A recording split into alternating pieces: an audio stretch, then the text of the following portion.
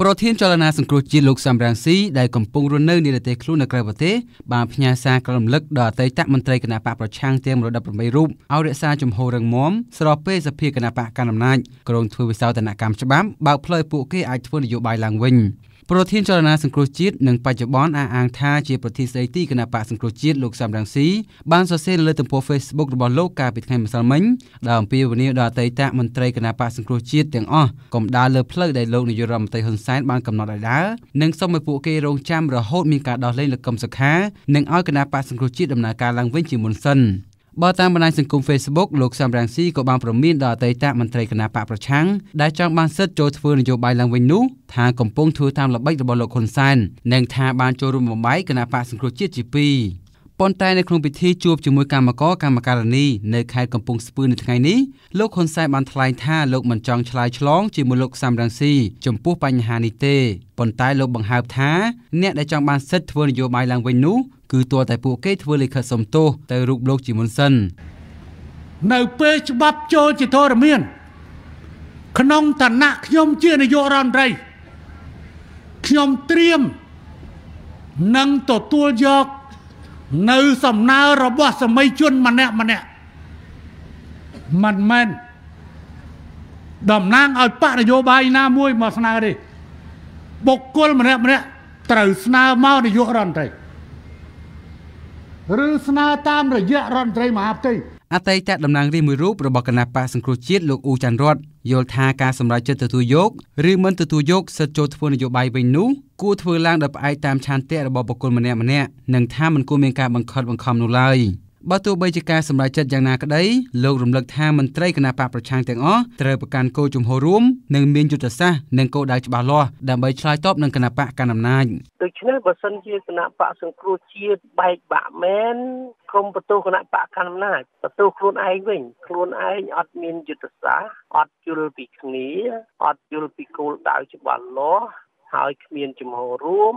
អានឹងបែកបាក់ហើយប៉ុន្តែបើសិនជាគណៈបក្សគ្រូជាតិនៅតែរក្សាចំហដដែលស្មារតីដដែលគោលដៅដដែលអានឹងយើងអត់មានបែកបាក់ទេ បើទោះជាអ្នកណាទទួលសិទ្ធិក៏ដោយមិនទទួលសិទ្ធិក៏ដោយមន្ត្រីជាន់ខ្ពស់គណៈបកសង្គ្រោះជាតិលោកមីសវណ្ណរារីគុណថាការបើកផ្លូវរបស់គណៈបកកណ្ដាលអំណាចនេះបានបង្ហាញពីភាពមិនស្មោះត្រង់និងកំពុងបោកបញ្ឆោតមតិអន្តរជាតិតែប៉ុណ្ណោះដោយថាគណៈបកកណ្ដាលអំណាចកំពុងប្រើល្បិចព្រួយមួយបាញ់បានសัตว์ពីរដោយមកខាងបើកផ្លូវឲ្យដៃគូរបស់ខ្លួនអាចធ្វើនយោបាយឡើងវិញដើម្បីបន្ថយសម្ពាធអន្តរជាតិហើយថាមកខាងទៀតកំពុងរុញច្រានឲ្យពួកគេបែកបាក់គ្នា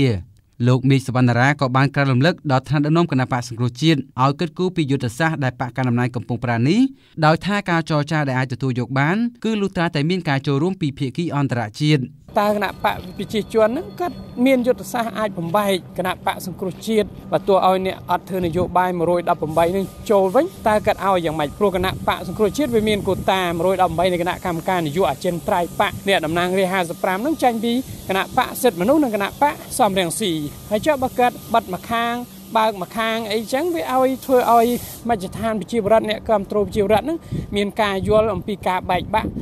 គណៈបក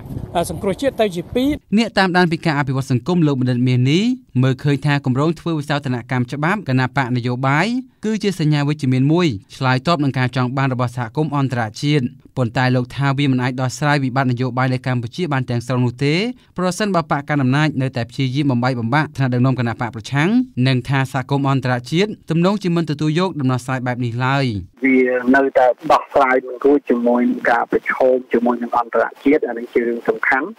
ហើយទី2ទៀតនៅក្នុងស្រុកក៏មិនបានដោះស្រាយរឿងនៅក្នុងស្រុកឲ្យបាន100%បាទអញ្ចឹងវានៅអ្វីៗវានឹងខិតវានឹងត្រូវខិតនៅក្នុង